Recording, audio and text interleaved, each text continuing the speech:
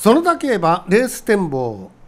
今日の解説は放置新聞の内尾敦さんです。内尾さんよろしくお願いいたします。お願いします。いや厳しい暑さが続きますね。本当暑いですね。もう馬も大変だと思うんですけどもね、はい、まあ、そのだけばサマーシリーズ連日熱戦を繰り広げておりますがいよいよ明日、えー、10日からですね3日間。水曜木曜金曜この3日間行われるわけですが今度の金曜日は重賞レースの雪杯が行われますね。はいね。3歳以上のオープンの重賞レースなんですけどもハンデ戦ということでね、はい、予想の方もちょっとこう難しいんじゃないかと思うんですがそういった重賞レースを織り込んで行われる明日からの園田競馬レースを存分にお楽しみいただきたいと思います。それでは今日はですね明日行われます園田競馬4日目レースは全部で11レースを行われるわけなんですがメインの10レースと準メインの9レースこの2つを、えー、内尾さんに解説していただきたいと思います。はい、お願いします。それではまずメインレース第10レース。これはあの SKN フラッシュ8カップというレースなんですけども3歳以上12とフルゲート距離が1400メートル。これはいかがですか、えーままずはあのあ印までま出ましたね。はい、はいまあ、本命はアネラの部屋としたんですけど、はい、あのえーと、兵庫に戻ってからの偽の勝ちっぷりがどれもいいんですよ、はい、特に前回はあの前があの止まらない流れを差し切って、まあ、着差以上に強いなあのレース内容だったと思います。で今回 B1 ですけどあの勝ちっぷりと前回からの1キロ減を考慮すれば、まあ、ここでも十分に通用するのではないかと私は思ってます。このまあ中央から来て、はい、そしてまた中央に戻って、はい、だけど園田の競馬場では5戦5勝なんです。負け知らずなんですもんね。合うんでしょうね。合うんでしょうね。この間は、まあ、前回の場合で言えば B2 クラス、はい、今度は B1 クラス。ランクは1つ上がっても十分いけると、はい、私はそう思います。なるほど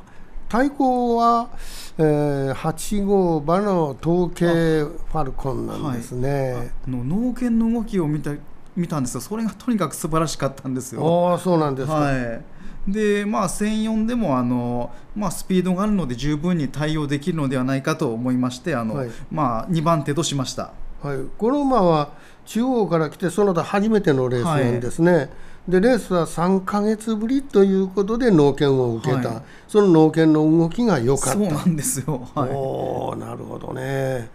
えー、それから黒三角が2番の見客ハーバーなんですけども、はい、これはいかがですか？兵庫ダービーじゃちょっと距離が合わなかったかなと思うんですよ。あのこの1004ではあの、まあ、2勝していますし、はい、えー、まあ、得意の距離に戻ればコバとの対決でも十分に通用するのではと思ってあの3番手としました。なるほど、まあ、あのこの馬は純粋の生粋の兵庫県のデビュー馬ですよね、はい、まあ、そういう意味でこの馬を黒三角ということでこの黒三角というのはどういうふうに評価したらよろしいんでしょうね。まあ大体穴馬という感じで、そうですね。逆転はあるそうだけど、まあやっぱり二三番手ぐらいかなような評価なるほど、そういう評価ですか。はい、そして白三角が十二番の菊のレオン。これも純粋のそのデビュー馬ですよね。はい、まあ前回はちょっと相手が悪かったかなと思いまして、はい、あのマイタイザンでしたからね。はい。まあ、ここやったらまあ上位争いは十分あってもと。はい。まあ、あのマイ・タイザンというまあ相手ではこれはもう 負けても致し方がないと、強かったです、まあ、ね、関係者の人には失礼な言い方かもしれませんけども、うん、まあ、でも1着5回2着6回3着3回でしょ、はい、これえー、3連単3連複ということの計算でいけばですね連に絡む確率が6割以上あるわけですよね。はい、立派ですよねねそしてその後には3番の馬を押しておられますね。はい、ブーツイン順はあの、うん、まあ現クラス勝ちがありますし明日はやっぱり木村騎手に頑張ってほしいなと。はい、はい本当木村騎手がね、はい、よく戻ってきてくれましたからね。やっぱりこのファイトあふれる騎乗ぶりをするね、はい、これはファンにとっても本当に待ち望んだと思うんです。が、うん、田中学騎手がねちょっと、はい、うん、再デビューが遅れてるんですけども、うん、えー、まあ、これはちょっと心配ですけども。まあだけど8月中には戻ってくれるでしょう。そ、ね、そんなに長引かないのではと思っています、はい、そうですね、まあ、本人もそう言ってますしね、はい、まあ、とにかく明日は木村騎手が6回騎乗するんですもんね。あの木村騎手をあの見たくて競馬場に来るファンも多いはずですそりゃそうですよ。えー、えー、ということでこの10レースのですねフォーカスを見ていただきます。はい。これはもう6番中心と。そうなんです。あの1着固定で。1着固定でこういう組み合わせを考えたいということですね、さあそれではもう一つ前に9レース。これが準メインのこれも12頭立てなんですけども、えー、これもまず印を見ていただきましょうか。こういう印ですね。3番のビナファミリー。大垣騎手が騎乗するこの馬。前回は C1 クラスで勝ってここ B2 これ昇級戦になりますね、はい、まあ、でも前回そ、大外から豪快に伸びてきましたけど、すごい足でしたよ。そうでしたね、はい、今、大垣騎手というのは、こういう大胆なというか、ういや、すごい騎乗しますもんね。まあ、この以前 B2 であの2着がありますけどあの今年1月に、まあ、当時より間違いなく力をつけているのではないかと思いまして今ならこのクラスでも勝ち切るだけのあの実力を兼ね備えていると思います。はいそしてその大垣騎手が乗ってくると、はい、こういうことですね。対抗には12番のワーク・オブ・ゴッドをされました、まあ、この馬も前走強かったですからね。はいまあ、あの57キロも克服済みでで広瀬騎手もあの今日調子がいいと言っておられまして、うん、まあ、本命の馬と迷うところなんですけどね、うん、まあでもビナファミリーの末足のインパクトを取ってそっちとしました。ああなるほどね。どっちにしようか迷われたんですね。迷うんですよこれ。最後まで。そうですね。かえって外枠というのはやりやすいかもわからないし逆転だって当然考えられる、まあ、当然あるなと。うんですね。黒三角が、えー、6号馬ですね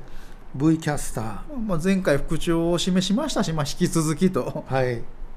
ということで、まあ、着順成績見ましても尻上がりに多くなっておりますしね。そして白三角には10番統計演奏されました、まあ、あの鋭い末足を持っていますし、はい。まあ、あのこの馬もあの、えーと、23着というか馬券圏内なら十分にあるのではと思います、うん、このクラスに入っても十分こう恥ずかしくないレースぶりですもんね、ねはい、川原騎手が騎乗して、うん、これひょっとしたらひょっとするかもしれんという感じしますもんね、まあ、はい、はい、そして11番のポムショコラを押されました、まあ、安定感がありますからね、はい。まあ、この馬もあの連したなら十分と思います、うん、なるほど。それではフォーカスを見ていただきます。3番を一応そうなんですよ。固定という形で見て、はい、3連単ご覧のようなということですね、はい、まあ、やっぱり絞らないとちょっとあの配当を得るにはと思いまして愛着固定にしましたこれ、はい、こちらも。はい僕ねやっぱりあのあなたはまだ若いからねやっぱり決めたいというねこういう決断のね はい、そういう気持ちが相当強いんじゃないかなと思うのよね。この人間ってやっぱり迷いってあります、特に競馬の場合はね、どっちにしようかなという時にねもうこれにしようというふうにバチッと決める。やっぱ決めてほしいというのもファンの気持ちとしてあると思うんですよね。はい。えー。まあ、いかにも若い内尾さんらしいそういうこれを軸にということで3号馬をされたわけであります。はい、さあ今週先ほどもちょっと言いましたけれども金曜日には重賞レースの節愛が行われます、はい、オープンのハンデ戦なんですけども夏の重賞レースとして楽しみなレースですよね。楽しみな馬がいっぱい揃いましたし。揃いましたね、はい、ということでそれだけは明日から3日間水木金とこの3日間レースが行われるわけですが果たしてどういうレースになるんでしょうか。一つ楽しみにしていただきたいと思います。今日の解説は放置新聞の内尾敦さんでした。どうもありがとうございましたえー、そのだけはご覧のような日程で行われるわけですが10日、11、12この3日間が、えー、この開催の後半戦その後には17日からとこのような日程で8月の園田競馬開催されるわけであります。